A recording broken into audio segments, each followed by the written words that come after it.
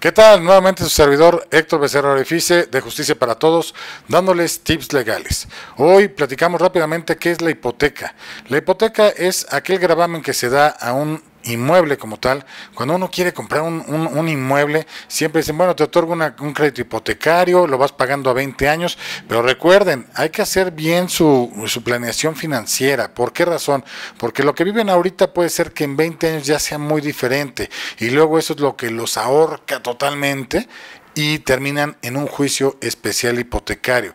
¿Qué va a pasar en un juicio especial hipotecario? Normalmente es si uno no demuestra los pagos, le van a querer quitar todo el inmueble a ustedes a pesar de los pagos que se hayan dado, porque vienen varias penalizaciones que seguramente ustedes pactaron y eso puede traer como consecuencia la pérdida total de ese patrimonio que con tanto esfuerzo lograron hacer.